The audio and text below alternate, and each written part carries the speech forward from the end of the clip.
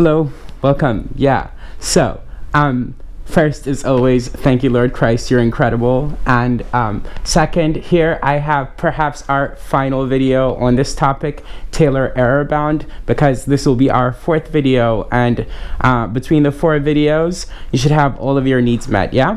okay. Okay. Okay. Uh, where have I heard that before? okay, okay, okay.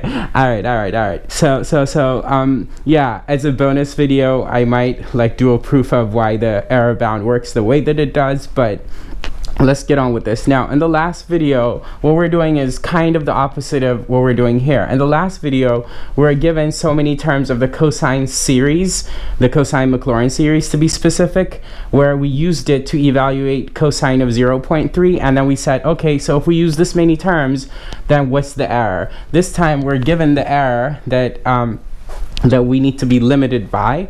And what we have to do is figure out how many terms of the sine Maclaurin series we have to use so that the error is less than this. Now one of you might be like oh yeah we could do sine of 0.3 in our calculator and then we could write so many terms of the sine Maclaurin series and compare the two.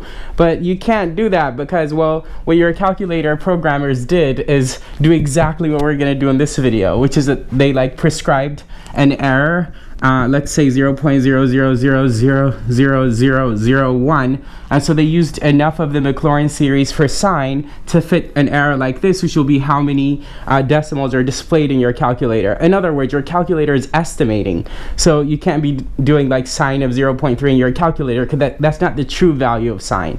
You'd have to use infinitely many terms of the Maclaurin series in order for you to say that's the true value of sine of 0.3 yeah Okay, I thought we should like get that out the way. Okay, otherwise, well, we know what the Maclaurin series for sine looks like. So sine x is equal to, it's equal to this infinite series. And this is what I mean, which is that like, if you want sine of 0.3, actually, like, you know, in its full glory, you need to do an infinite sum.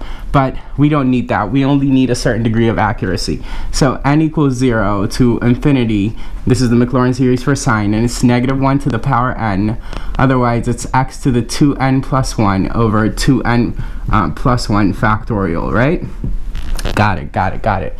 So, if we do sine of 0.3 and show so many terms, sine of 0.3 is going to be equal to, well, if we plug in n equals 0, we're going to get just x. So that will be 0.3 plugged into x to the first power over 1 factorial. So we could just write 0.3. I'll put it in parentheses so that we see that it's plugged in. And then and then it's going to be, well, when n equals 1, it's going to be negative 1 to the first power, so it's going to be minus.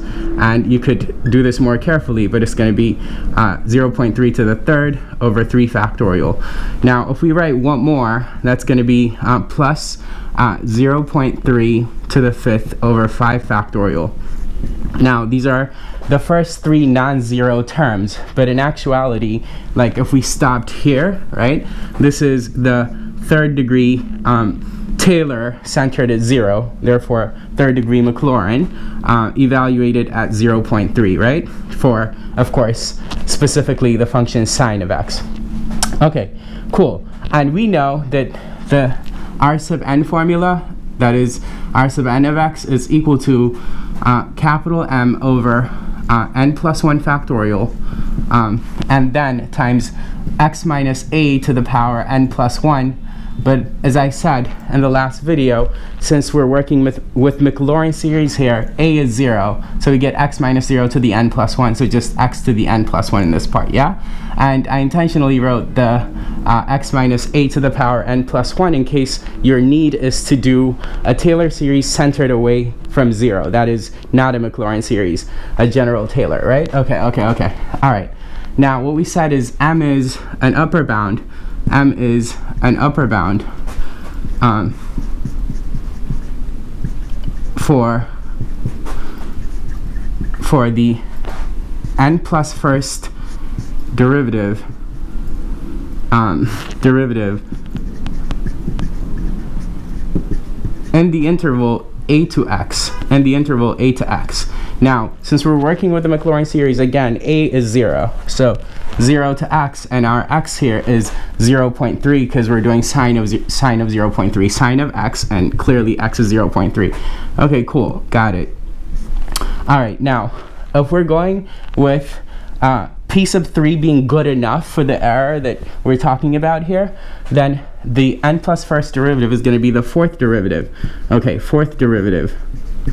Got it. Now, since um, f of x is equal to sine x, f, f of x equals sine x, f prime of x is cos x, uh, f double prime of x is negative sine x, um, the third derivative, which we'll just write with 3, and that's why, by the way, in the Taylor series, they go fn of a to mean the nth derivative evaluated at a because, well, it's too many tick marks. Yeah, so f uh, 3 of x, the um, third derivative for sine, is going to be negative cosine x, right? Um, sine, cosine, negative sine, negative cosine. And so the fourth derivative f4 of x is going to equal, well, it's going to be uh, sine of x.